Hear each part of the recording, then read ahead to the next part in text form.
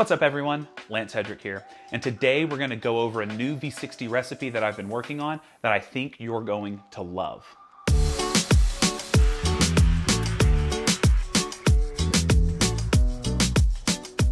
All right, so before we hop into it, I would ask that you hit the subscribe button, the like button, maybe leave a comment saying, I love coffee. Uh, that would be fun. And um, yeah, we're gonna go ahead and get started. So uh, with my first V60 recipe that I posted, it was kind of geared towards a higher extraction. Okay, so I was really pushing for those higher extractions that you don't really get in a lot of the V60 recipes that float around. So I was pushing for like higher agitation, ensuring flat beds, longer brew times, multiple pours, and things like that. For this one, I'm gonna take a different approach because I know a lot of you don't care as much about getting that high sweetness um, and really full extraction out. Instead, you really are looking for vibrancy and cleanliness and, and uh, th those fruit notes to really sing. So today, this recipe is gonna more so hit on that. And on top of that, it is going to be more accessible to more people regardless of your grinder quality. With that first one, if you have kind of a lower quality grinder, it's not gonna work super well because of how much agitation there was.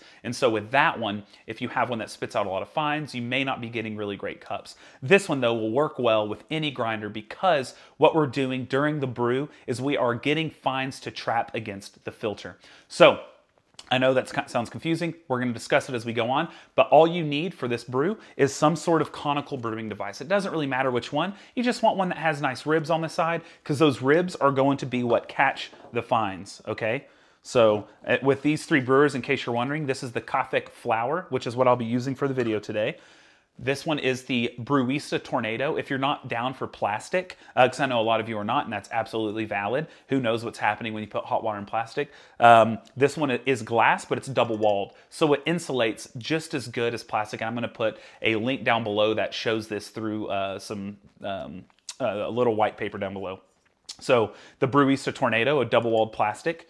And then we have a plastic V60, which is, of course, the GOAT. Um, so I'm going to be using the flower. I've been having a lot of fun with it. It has wider ridges. Um, but yeah, what we're going to do is simply this. Whatever recipe you're wanting to use, the idea is to use as much of the filter as possible, meaning we're going to fill it up at, with, our, with one of our pours all the way to the top. And the idea is as it's draining down, we're gonna use centrifugal force by doing a slight stir. And when I say stir, I'm not talking about this down deep. It's gonna be a very slight topical stir in order to use that force to shove fines into the walls being caught on those ribs, on those ridges on the side, okay? So this way, if you have uh, you know, a, a, grinder that spits out a, a lot of fines, you'll probably have a thick, muddy wall caked up against this filter, which will remove it from continuing the last bit of extraction. So we're gonna do that. The way that we do it is whatever recipe you take, the first pour will be triple, triple, triple your, your coffee dose. And why triple, you ask? Well, it's very simple. When you pour your bloom, water inevitably falls through. If that water's falling through, that means it's not being absorbed into the coffee grounds, which means that some of those coffee grounds are not being fully saturated which we need them fully saturated to not only degas, but we need water to penetrate the innermost part of that ground so diffusion can be as efficient as possible. Now, Jonathan Gagne has shown in his book, I'll put a link to that below, that it takes up to two minutes for full saturation of these grounds, and he had noticed a trend of higher extractions when he was allowing a bloom to occur for up to about two minutes with a certain particle size. Now with the particle size here, I'm gonna also advocate for that two minute bloom. I too have seen higher extractions between a 30 second bloom, a one minute bloom, and a two minute bloom. And so we're gonna do a two minute bloom and then just one extra pour. So we're doing triple your dose for the first pour, all right? And then we're gonna wait till the two minute mark, and then we're gonna pour the rest of the water in one pour. All right. Now the way we're going to do it is a little specific. So we'll need to pay attention here. I'm going to go ahead and say it and then I'm going to show you with actual brew. So with the bloom, what I like to do is I pour from a height so that the stream breaks before hitting the bed. The reason I do this is because I want it I don't want the water to immediately go through into the, to the receptacle. I want to pour right above it, breaking right above the bed so that it kind of splats. It uses its aggression for that top layer. And then when I swirl, it evens the saturation out. All right. So I'm going to be having a divot in my bed. I'm going to pour from a height so it splinters before it hits the, the coffee.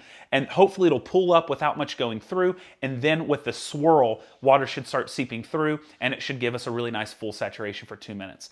Then with my second pour, I'm gonna start from high up and I'm gonna have it so that the pour breaks up right as it's hitting the water. This will give us the most turbulence, the deepest turbulence, give us a lot of agitation for the initial part. I'm gonna pour with a fast flow rate and fill it up to about halfway from top to bottom. Obviously halfway is not half the volume because as it gets taller, it goes out. So we're gonna pour halfway at that speed, right about there, okay?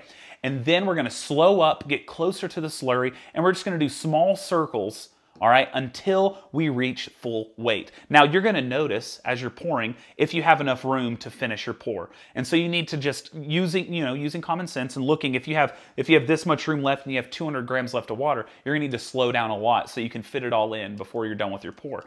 Now again, the reason for this is we're trying to epitomize the temperature of our slurry to increase extraction because of course with a two pour uh, with a two pour brew, you want to be able to manipulate the variables you can control to epitomize that extraction. But also, we want it to be at the very top by the end of the pour so that we're utilizing all of the filter because we want to filter out as many fines as possible. If we only use this much of the filter, there's this much real estate that could be absorbing fines. So, in order to lessen the idea of a clog and in order to uh, trap as many fines as possible, we're going to pour all the way up to the very tippy tip top. All right? Okay, enough talking. I'm going to go and show you all this. And I'm gonna set it all up, and when I clap, it's gonna be set up, and I'm gonna start pouring right now. Okay, so that was a weird thing. Okay, so first thing I did is I put my filter in, and I'm gonna go ahead and advocate for my favorite filters.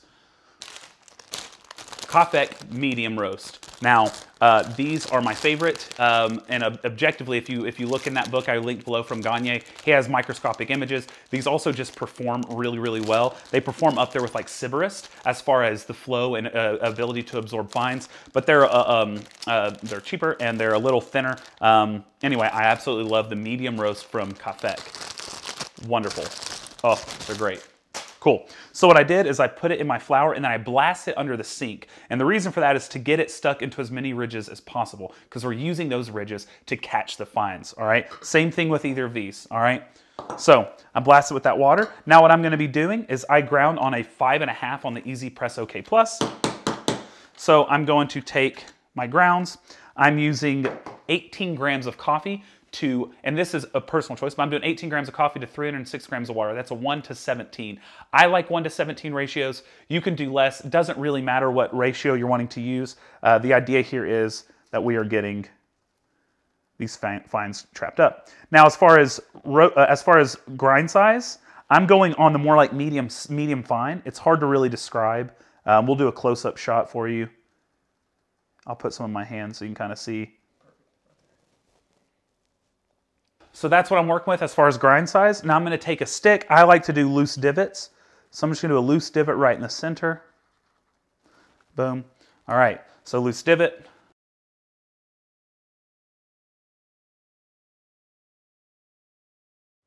All right, so I do just a loose divot. I start by circling the outside going in. This is just gonna help me get water to the bottom a little more quickly. Anyway, so I like to put the handle over here so I don't tap it, tippy tap it. All right, so I'm using boiling water. I like, I'm using a really lightly roasted coffee from George Howell, a Kenya coffee. It's really, really tasty. So I'm gonna start my brew. First thing I'm going to do, start my timer, pour from high up so it spatters as you see, or here. I'm doing three times. There we go, we're at 54. I'm replacing the kettle on that. I'm swirling aggressively the swirl here is to ensure there's no clumps in there. So if you're swirling and you see clumps down below, keep swirling. If you see thick parts of it up against the wall, keep swirling. All right, since it's a two pour brew right now, you can be really aggressive during this initial swirl and you shouldn't worry about stalling. So I did my 54 gram bloom and I'm waiting until two minutes. Then what I'm going to do again is I'm gonna pour it really heavily from pretty high up until we get about just below where you see through the filter. You see where the coffee grounds hit from my swirl. Just below that, I'm gonna fill aggressively till then, and then I'm gonna slow up drastically and kind of just pour in a circle. So what that's gonna do is it's gonna get our slurry in an absolute frenzy. It's going to really increase the temperature really quickly. I have my kettle back on, the, back on its uh, base, getting back to boiling. I want it to be as hot as possible. Since this is a two pour brew and it's gonna drain pretty quickly, I'm, again, I'm trying to manipulate all those variables to give me as high of an extraction as possible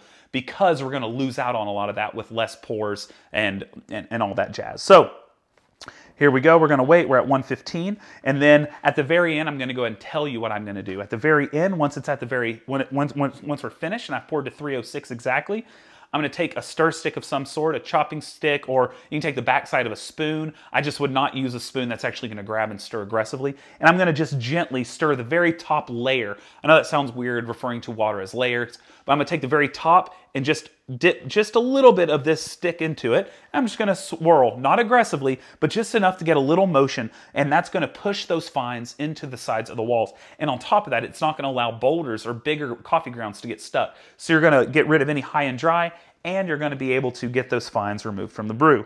So here we go. I'm gonna come in heavy and boom. Heavy with just a small little circle.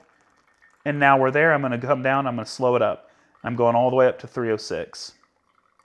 And again, this pour is scalable to whatever, uh, whatever dose you're wanting to do. All right, so we're almost up at the top.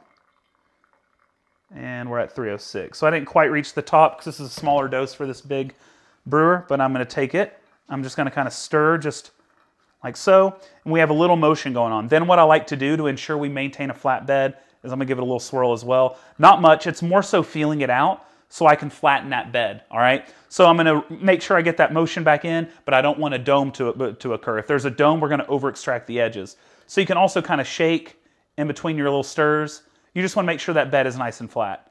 Do a little stir, and then do a little shaky shake, a little shake and bake, just ensure we have a flat bed. So I know you're looking at this and you're like, you're crazy, this is so much agitation. But I'm just trying to use that filter to take out the fines, and I'm trying to make sure we have that nice flat bed so we know that water went through pretty evenly. So just very shallow stirs. As it keeps draining down, I'm making sure that I have consistent output of fines on the walls, just small little circles. And then as you can see the bed, if you do see a dome at all, make sure that you are shaking it back flat. All right? We don't want that dome.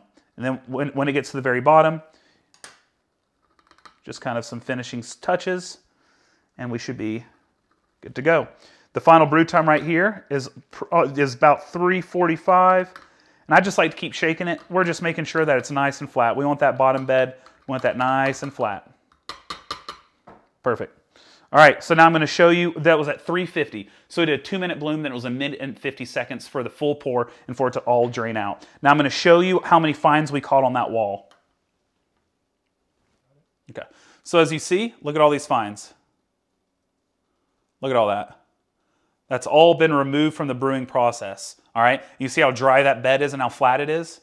So that's what we were able to do. We were able to take these fines out, from the rest of the process. And on top of all that, not only are we removing the fines, because it's arguable if just that few 20 seconds will really affect much, um, it's arguable, I can't prove it. But what it does for sure is it's gonna help you not clog. So if you do have a grinder that tends to clog when you do higher agitation V60s, brewing like this is going to help you minimize that clogging. It's going to take the fines and it's going to remove a lot of them and put them on top. So it may put them on top of the bed and the walls if you produce a lot of fines, or you'll catch most of them like with this Easy Press OK Plus. You're going to catch a lot of them in the actual ribs. Now what we're going to do, of course, is we're going to pour out this beverage and we're to enjoy it. So I'm to measure the refractometry real quick. So I'm trying to make sure I get all my beverage weight out. Just do some taps, make sure anything left in there is out. I'm to transfer it to my lovely, lovely cup and we're gonna we're gonna measure. I'm gonna put that there for now. Boop. All right, so let's zero this out. And of course, I'm using my Magnolia Mountain cups. Shout out if you if you are one of the people who ordered one of these, drop below that you have one. I would love to see who all has one. Um, I'm stoked on these. Anyway, put that there, and we're gonna measure the beverage weight.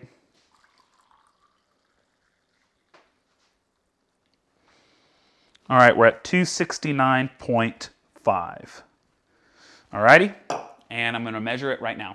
All right, so I just measured the refraction. We're at 1.49 TDS. So that with a 269.5 beverage weight times 1.49 divided by my 18 gram dose, that's a 22.3% extraction yield. So that is quite high. Incredible. We are able to do that in 3 minutes and 50 seconds, and that's including a 2-minute bloom. And again, everything I'm doing in this is to epitomize extraction because this brew is not built for high extraction. So I'm trying to uh, straddle this this line, this fine line of getting as much clarity and sweetness and and juiciness out of the coffee without going too hard, regardless of the grinder that you own. So give this a try. Let me know below what you think about it. Let me see if you're on Instagram. Tag me and put photos of your beds with with the with the fines caught in it. I would love to see those. Repost it in my story. Anyway, again, thank you so much. I hope you enjoyed this recipe. I hope that it really, you know, elevates your game at home.